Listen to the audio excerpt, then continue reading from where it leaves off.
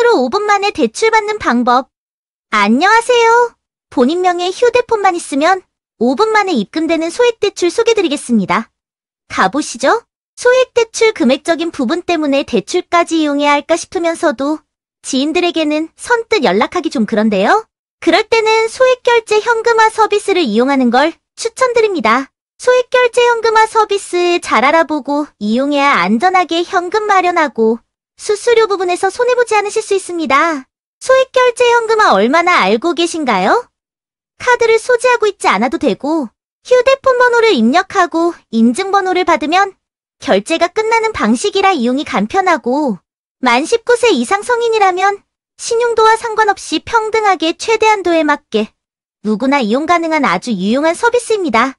소액 결제 현금화를 안전하고 최저 수수료로 진행할 수 있는 방법을 알려드리고 제가 직접 이용해본 공식업체도 영상 마지막에 알려드릴 거니 끝까지 시청 부탁드리겠습니다. 소액결제 현금화란 본인명의 휴대폰만 있다면 언제 어디서든 간편하게 현금 마련이 가능해서 편리한데요. 편리한 만큼 불법 업체들로 인한 사기 피해도 잇따르고 있다고 합니다. 정식으로 등록된 업체를 이용해야만 사기 피해를 예방할 수 있는데 잘 모르시면 구별하기가 쉽지 않습니다. 그래서 제가 직접 알아보고 이용해본 업체를 소개드릴 건데요. 우선적으로 소액결제 현금화 진행 과정을 약소하게 알려드리자면 고객님이 필요하신 금액만큼 휴대폰 소액결제 한도 내에서 상품권이나 다양한 물품을 매입하여 현금화하는 방식입니다. 처음이시거나 모르시는 분들도 전문 상담사분들이 1대1로 응대해드리기 때문에 크게 어려움 없이 신속하게 진행이 가능합니다.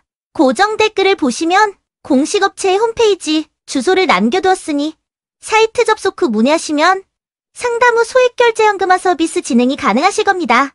오늘 영상은 여기서 마쳐보겠습니다. 행복한 하루 되세요.